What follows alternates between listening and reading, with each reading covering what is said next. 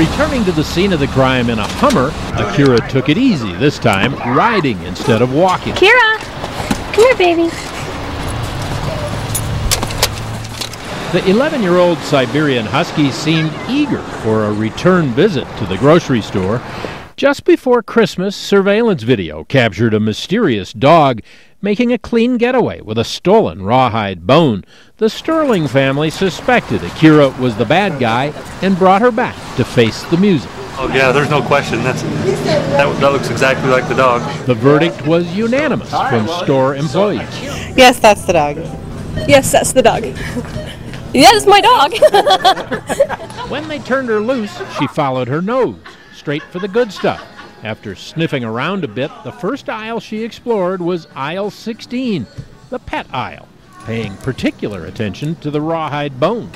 What do you think? Are you proud or are you feeling guilty? Yeah, a little bit of both, definitely. Akira lives here, a long way away.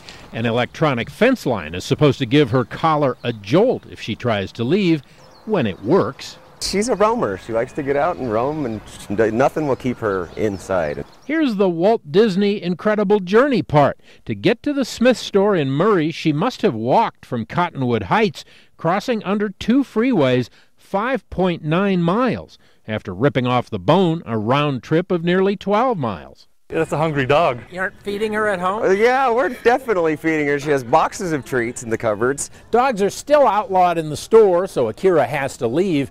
As for the shoplifting charge, well, We usually handcuff them, but we only have one set of handcuffs, so This time around, Akira stopped at the cash register. Her family paid twice.